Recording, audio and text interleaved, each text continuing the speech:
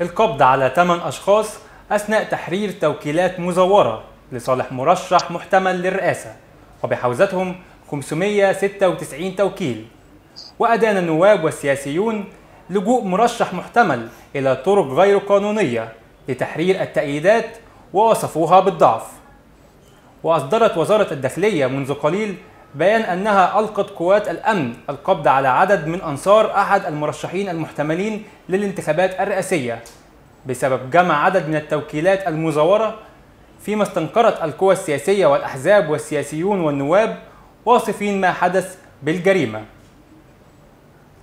وصرح مصدر أمني بوزارة الداخلية أنه بتاريخ اليوم 9 أكتوبر تم ضبط 8 أشخاص بنطاق محافظات الإسكندرية والجيزة والفيوم والسويس أثناء قيامهم بتحرير توكيلات مزورة لصالح أحد المرشحين المحتملين للانتخابات الرئاسية. ووضعهم توقيعات عليها للادعاء بأنها صادرة عن مكاتب الشهر العقاري وقد عثر بحوزتهم على إجمالي 596 نسخة من التوكيلات المزورة خالية من البيانات. زي ما حضراتكم شايفين على الشاشة دي الصور للأعضاء خلال تزويرهم للتأييدات لصالح أحد المرشحين المحتملين.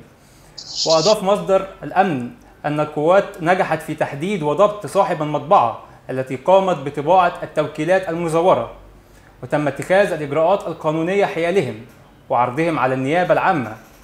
وأوضح المصدر الأمني أنه في ضوء ما تلاحظ من ترديد بعض أنصار أحد المرشحين المحتملين للانتخابات الرئاسية من دعوات للقيام بأعمال مخالفة للقانون وتحركات تخل بالأمن فإن وزارة الداخلية تؤكد أنها ستتخذ كافة الإجراءات القانونية بكل حسب تجاه من يخالف الضوابط القانونية الموضوعة من الهيئة الوطنية للانتخابات أو أي مخالفات تخل بالأمن العام. الواقع أثارت ردود فعل غاضبة ومستنكرة من داخل الأوساط السياسية حيث أدان عدد من النواب محاولات تحرير تأييدات مزورة لصالح مرشح رئاسي محتمل. مؤكدين أنه لابد من التصدي لأي محاولات لإفساد المشهد الانتخابي الديمقراطي.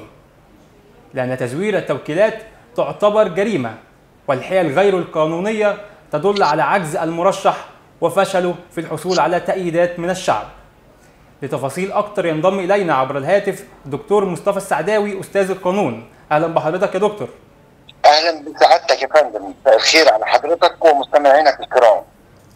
يا دكتور مصطفى عايزين حضرتك توضح لنا أكتر عقوبة تزوير تأييدات لصالح مرشح رئاسي. اولا اسمح لي أن أقول ابتداء أن القانون الجنائي لا يهب لأحد امتياز بالإجرام. أن القانون الجنائي لا يعرف التميز أمام المسؤولية الجنائية. نص المشرع المصري في الباب السادس عشر والمعنون التزوير على صور جرائم التزوير التي تقع ويقصد بها حماية المصلحة المعتبرة وهي المحرر الرسمي. وفرض عقوبة السجن المشدد لمن يأتي هذه الأفعال. دكتور مصطفى في الحالة دي يعني الإجراءات القانونية اللي بتتخذ حيال المزورين بتكون عبارة عن إيه؟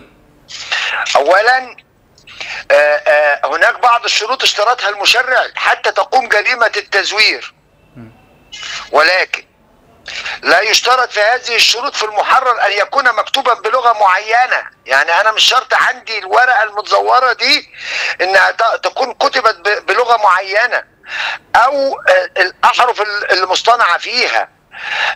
التزوير يتحقق طالما تم تغيير الحقيقة في المحرر الرسمي. يتم ضبط هذا المحرر. وجهة وجهة الضبط اللي هي الشرطة بتعمل محضرها وتعرضه على النيابة العامة التي تحقق في الوا... في الواقع. وتستعلم عن التز... عن المحرر المضبوط سواء هو توكيل سواء ما غيره. ولكن في الواقع المعروضة التوكيلات التي اصطنعها أحد المرشحين المحتملين لتقديمها للجنة العليا المشرفة على الانتخابات. بتتم جمع هذه التوكيلات والاستعلام من الشهر العقاري المنسوب صدوره إليه آه، ليقرر أنه لم يصدر هذه التوكيلات فتحقق النيابة العامة في جريمة التزوير في محررات رسمية واصطناعها طبقا للمواد بقى من الواردة في الباب السادس عشر. دكتور مصطفى شكرا جزيلا لحضرتك تحياتي لحضرتك يا فندم. يمكن ده كان تعليق آه، الدكتور مصطفى السعداوي أستاذ القانون على واقعه تزوير توكيلات أو تأييدات لصالح مرشح رئاسي والجميع اعتبر هذا الفعل جريمة سواء القانون وكان هناك كمان استنكار من النواب والسياسيين والأحزاب وكل من يتابع المشهد الانتخابي الديمقراطي في مصر.